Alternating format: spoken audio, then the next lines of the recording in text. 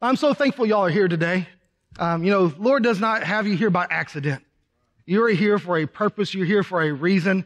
And today, if you will, turn your Bible with me to 2 Samuel chapter 23.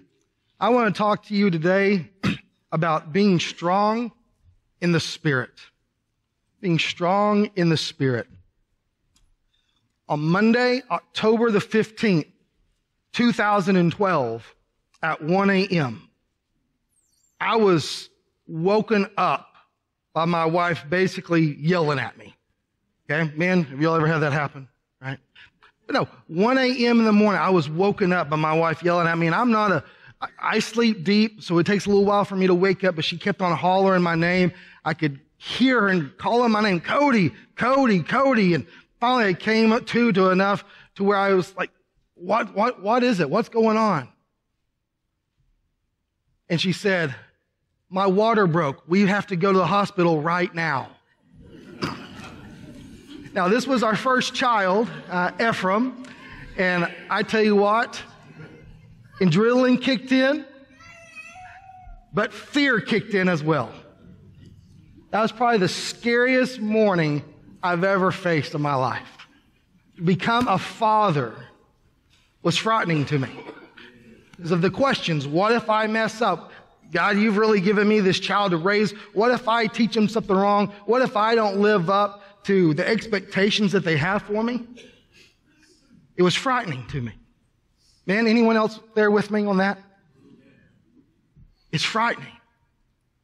And as I drove an hour to the hospital through the middle of the night, that October morning, the Lord kept on telling me, just be strong in the Spirit. Be strong in the Spirit. Basically, don't focus on your flesh, but rather focus on the Spirit that lives within you. Be strong. Friends, today we all fear things in life. But one thing I know is that the Lord tells us to not fear, for I am with you. Do not anxiously look about, for I am your God. I will strengthen you. Surely I will help you. Surely I will uphold you with my righteous right hand. Now, friends, when God says, surely I will, you can take that to the bank. You know that God is going to hold you up strongly. So this morning in 2 Samuel 23, we're going to take a look at a gentleman that you may or may not have heard of. He's not mentioned very much throughout scripture, but he shows us how to be fearless when we face the lions in our lives.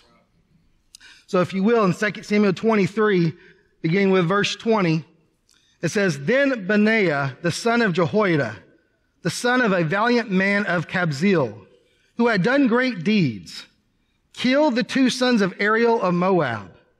He also went down and killed a lion in the middle of a pit on a snowy day and he killed an Egyptian, an impressive man.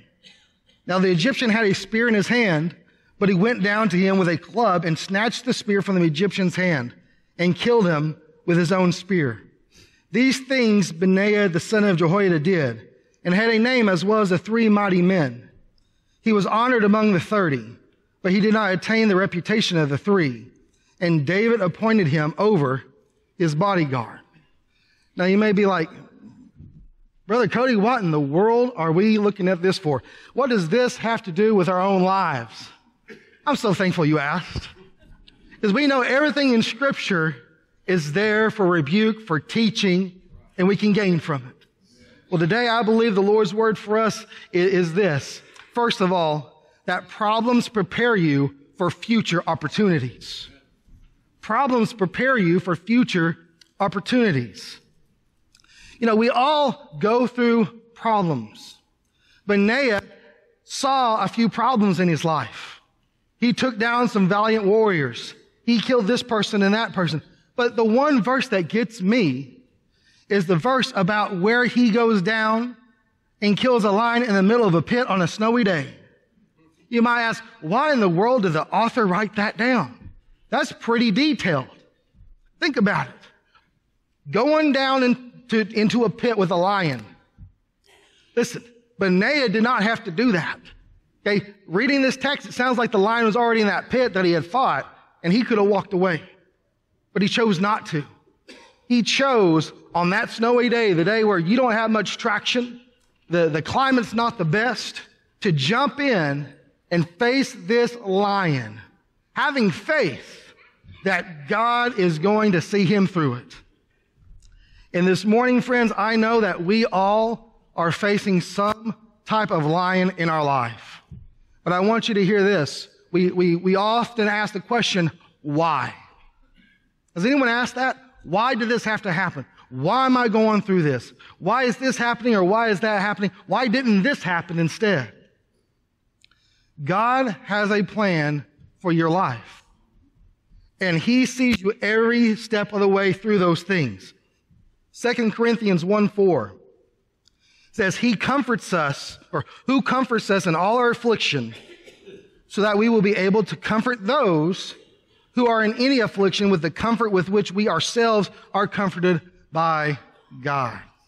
Basically, what this is saying is that when you go through something and God supplies you with the comfort, with the peace, with the strength, whenever you get through that, you're able to help other people and show them the strength that they can have through the Lord, the comfort that you can receive, the strength that you can receive. Because we know Jeremiah 29 11 teaches us, For I know the plans that I have for you, declares the Lord. Plans for welfare and not for calamity, to give you a future and a hope. Friends, there was a time in my life where I went through a struggle. I was actually in college at Oklahoma Baptist University studying to be a minister. And I went through this dark, this dark time because one January, there were so many tragedies around me. People dying, this happening, that happening. And I finally came to a conclusion that it felt like I was an ant on an ant hill and God was the kid with a magnifying glass trying to burn my antennas off. Okay? That was the mindset I was in. But that was so inaccurate. And God had to show me that He had a plan for my life, a welfare, a, future, and a hope. He wasn't bringing me into a storm just to drop me and to let me die there. No, He brought me through it to strengthen me. Not in my flesh, but in the Spirit of God. So friends, what we face today, our problems, prepare you for future opportunities. As we look here at Benaiah, you know, the last thing that I believe was on his mind when he jumped into that pit with that lion on that snowy day, he wasn't thinking, you know what? This is going to look great on my resume. That, that wasn't what it was on his mind, was it? But as we see in this story, King David appointed him over his bodyguard. So he received a wonderful promotion. He received a wonderful position with King David being over his bodyguard because of this story, because he showed his strength and his fearlessness. And friends, we're called to be fearless. We're called to be strong in the Spirit of God, knowing that the problems we face are preparing you for future opportunities. So instead of asking the question of why is this happening, ask yourself, ask, ask the Lord instead, Lord, show me how you will use this in the future. Show me how I can be a help to someone else. Now, if we've had a spouse that has passed away, we can help others who are facing the same. If you've battled and struggled with cancer, you can help others who are going through the same. Friends, we are called to help others who are going through similar storms in life. Let me tell you, the Apostle Paul also wrote that our struggles prove little compared to the glory that we will experience in heaven. In 2 Corinthians 4:17, for momentary light affliction is producing for us an eternal weight of glory far beyond all comparison. So although we may struggle here, no, it's, compar- it's not in comparison to what glory we'll receive in heaven. Amen? And secondly, I want us to see that we must have faith over fear. Benaiah showed no fear when facing his opponent in this lion. There several years ago, I was looking at Christian songs on the radio. And even today, I did a Google search. You realize that there's over 20 Christian songs that talk about fear. Fear is something that everyone's talking about today. I believe three years ago when COVID hit, it really caused people to start fearing what was going on, to really focusing on their fear. Just like the enemy wanted us to, he wanted us to focus on fear rather than on having faith. Friends, our fears are driven by external information. I once heard that fear could be an acronym for false evidence appearing real. To have faith over fear we must stop listening to the lies. We must stop listening to the lies of the devil, the lies of the enemy. Friends, our God is not a God of fear. He does not want to place fear in your life. Now let me highlight this. He calls us to fear Him, which is respect and adoration, okay? But He is not going to put fear in your heart of things around you but rather He's going to provide you peace in your heart. So, how do we do this? How do we get faith over fear? Again, I mentioned we got to stop listening to the lies. Friends, there's two parts of learning. The first part is learning new information. The second part of that is unlearning old information. I tell you what, that's difficult, isn't it? Y'all have all heard the, the, the phrase, what is it? It's hard to teach an old dog new tricks. Okay? This is part of that. You know, when Jesus encountered this, if you look at the Sermon on the Mount, you'll see Jesus teaching in this way. You have heard that it was said. And then Jesus goes on to say, But I tell you, you have heard it said, an eye for an eye and a tooth for a tooth. But I tell you, do not resist an evil person. You've heard that it was said, do not commit adultery. But I tell you that anyone who looks at a woman lustfully has already committed adultery.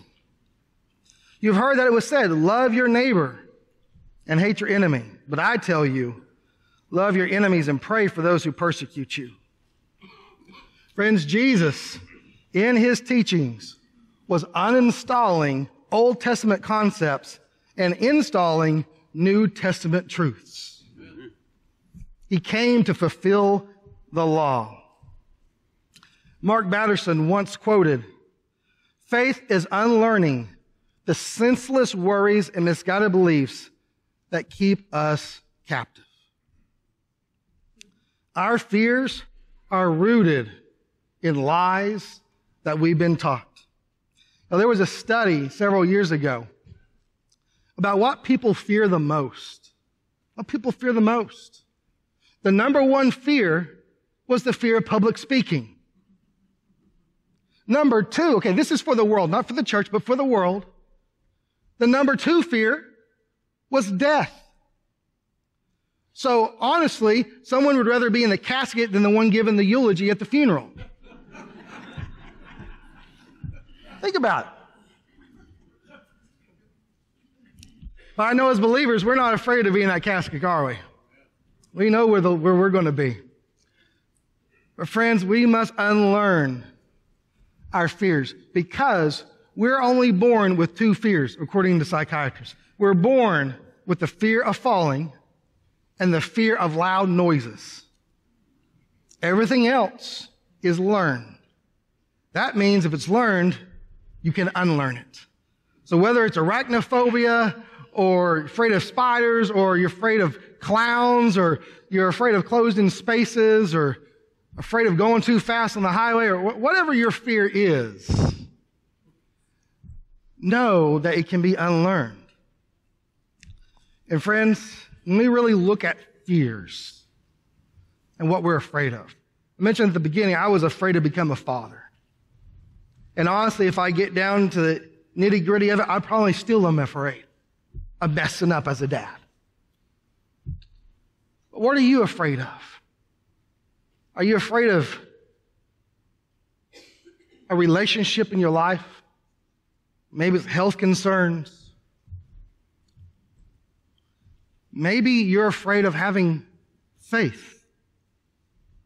That sounds like an oxymoron, but think about it. You're afraid of letting go. You're afraid of letting go of that fear. Friends, God has broken the chains in your life of sin. And when that happens, there is nothing to fear. Whatever you fear, don't let it control your life. We must face our lions in our life. One thing I've seen in many Christians' lives, one thing that maybe people are afraid of, that they fear, is the fear of not being able to do what God's called them to do. Because they're so focused on carrying the weight on their own shoulders. Friends, your success as a believer is not based on how much you can carry on your own shoulders. Is based upon how bruised up your knees are from kneeling at the feet of Jesus. That's what your success is based upon. So when we pray, are we praying that we will have faith over fear? Are we putting everything at the feet of Jesus. So I know if we took a poll in here today, we all have our fears. You're afraid of something today that you need to lay at the feet of Jesus. Because he's there wanting to take it off of you. He's there waiting to pick you up. So friends, problems prepare you for future opportunities. We must have faith over fear. And lastly, and I tell you, this is exciting. So I hope you're still awake right now, okay? Because you're going to want to hear this. That you have a spirit of power, not of fear. 2 Timothy 1 7. For God gave us a spirit not of fear, but of power and love and self control. That is the Spirit of God. That is the Holy Spirit in your life. So when you call upon the name of God and you are rescued from your sin and you are saved, you receive the Holy Spirit. Please do not undermine the Spirit of God in your life. Say no to the flesh and say yes to God and the Spirit that's in you. We must learn to live through the Spirit. You know, we pray, God, Father, fill me with your Spirit. Fill me with your strength. Fill me with your love. Fill me with your comfort. And do not let me fear what I face today, what I'll face tomorrow. Friends, today is the day to be the person you're supposed to be. It's time to stand up and to do what is right. Time to live in the Spirit, to be strong in the Lord. Today is the day to be the child of God you're called to be. Friends, if you have the Holy Spirit in your life, I want you to hear this. If you have the Holy Spirit in your life, that means you have Jesus living in you. The same Spirit of God has been in battle many times. The Spirit of God that shook the mountains, that turned the river to blood. The Spirit of God that healed the leper, gave sight to the blind, and made the lame man leap. The Spirit of God that cast demons out, that poured down fire from heaven, the Spirit of God that raised Lazarus from the grave. And let's not forget the same Spirit that resurrected Jesus Christ from the grave. That is the Spirit of God that's in you. That is the Spirit of God that was given to you. The Spirit of fear, or the Spirit, not of fear, but of power, love, and sound mind. And so as we go back to Benaiah for just a minute, why was he selected as the captain of the bodyguard for King David? Let me take you back to King David's life as a boy. You might remember when David was going up and the Israelites were having a tough time beating this giant named Goliath. And David thought he could take him on. He knew he could take down this, this Philistine. You remember what he told King Saul? He said, Your servant has been keeping his father's sheep. When a lion or a bear came and carried off a sheep from the flock, I went after it, struck it, and rescued the sheep from its mouth. When it turned on me, I seized it by its hair, struck it, and killed it. Your servant has killed both the lion and the bear. So think about it. When King David was looking at people to become the captain of his bodyguard, who was he looking for? He was looking for someone that would face the lion just as he did. He was looking for someone that would take his bare hands and break the lion's neck. He was looking for someone that was not afraid or fearful of anything. Enter Benaiah. He saw this man. He was looking through all these resumes and got to him, and I'm sure he thought, Wow. Not only did he kill a lion, he did it on a snowy day. He's got one up on me. King David wanted someone protecting him as valiant, as fearless as he was. And friends, today, Jesus has called you. He has saved you. He has rescued you. He has given you the Holy Spirit so that you may be strong and fearless in the face of any storm, any line that you face head on. Today is not a day to say, you know what? It's not for me. I'm not going to do that. Maybe you're afraid of walking across your street and sharing the Lord's word with someone that you know needs to hear it. Just like we sang, I'm going to go tell the world. Are you afraid of doing that? Friends, the Lord has given you the Holy Spirit to go and tell the world. He's called you to live through the Holy Spirit to do just that. So this morning, as you think about your fears, about what's happening in your life, maybe you have something going on, maybe you just received some information, some news that you don't really like. Remember, it's not about living in the flesh and thinking, oh, how, how am I going to get through this? It's about how is the Lord going to help you get through it? It's how am I going to live through the Spirit? So, friends, get in the Word of God. Get in the Word of God. The Word tells us that we're transformed by the renewing of our minds. What you put in is what you're going to get out. So if you're watching the news, if you're listening to the radio all the time and hearing all the bad things happening in the world, and that's all you're putting in, obviously what you're going to get out is fear and anxiety. You need to put some truth in your life. You need to put some hope into your life. You need to put some encouragement into your life. Turn on the Christian radio station and listen to some great encouraging songs about Jesus. Open the scriptures and read. Dive into God's word. Because when you put this in your life, what you're going to get out is peace, comfort, and strength.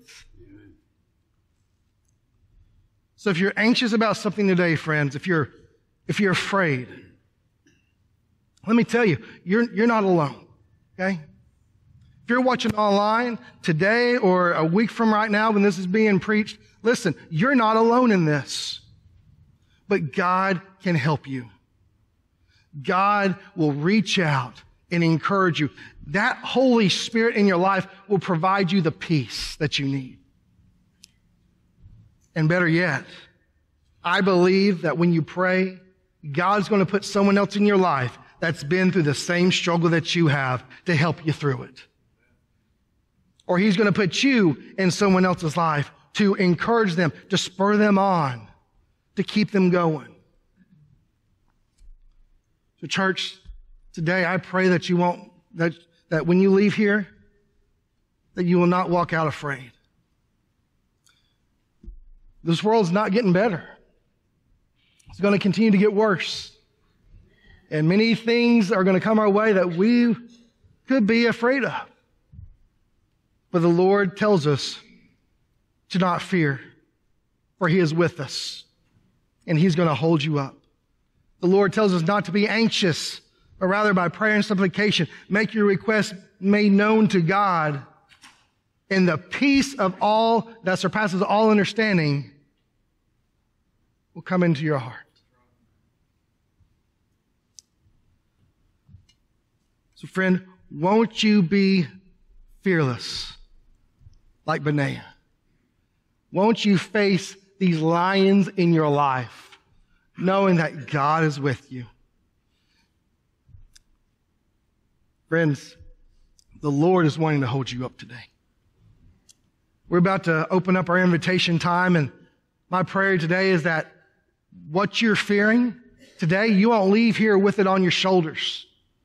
That you'll come, bring it forward, and lay it at the feet of God, asking Him to fill you with that Holy Spirit, asking Him to help you to understand that you need to leave the flesh behind and turn and focus and live only through that Spirit. The Spirit of power, love, and sound mind. Church, if you will pray with me now. Father God, we thank you, Lord, for your word. And I know, Father, today that there's someone in here that has a fear. They're going through something, Father, that they're afraid of.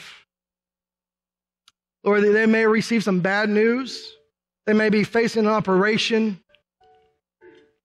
Maybe it's a relationship. But whatever it is, my prayer is that today, that, Lord, that they'll lay it at your feet. Lord, help them to understand that you have broken those chains and they're able to do and, and lay, Lord, those struggles at your feet today. Father, if one in here does not know you yet, and they're still bound by the chains of sin, I ask and pray that today will be the day of salvation for them. Lord, that they'll come forward professing you as their Lord and Savior. Lord, receiving the Holy Spirit, Lord, receiving the Spirit of power, love, and sound mind. Lord, you are incredible. You are strong. You are mighty. You are righteous. And Father, as we bow our heads before you, as we kneel before you and we raise our hands, Lord, that is when we are strengthened beyond measure by living through your Spirit, For you will give us nothing that we can't overcome with the Spirit you have blessed us with. The Lord, we know you're doing a great work in here. Lord, continue to work all things for the good. Continue to do your work. And Father, today I pray now that you will help us live through your Spirit. Lord, we pray all this in the precious Son's name of Jesus. And all God's people said, Amen and amen. If you would please stand. The invitation is now open. Won't you listen to what the Lord is speaking to you today?